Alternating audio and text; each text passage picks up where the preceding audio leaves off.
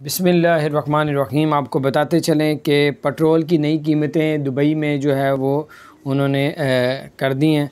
उन्होंने कहा 1.9 जो है दिरम का जो सुपर पेट्रोल होगा उसका रेट है और फिर सुपर स्पेशल जो है, स्पेशल पेट्रोल है 1.8 दिरम का हो गया और डीज़ल का जो रेट हो गया वो 2.06 रेट है डीज़ल का।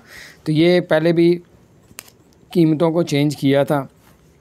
फिर दोबारा कीमतों को अब चेंज कर दिया गया तो मैंने कहा, आपको तक ये बात को पहुँचाऊँ।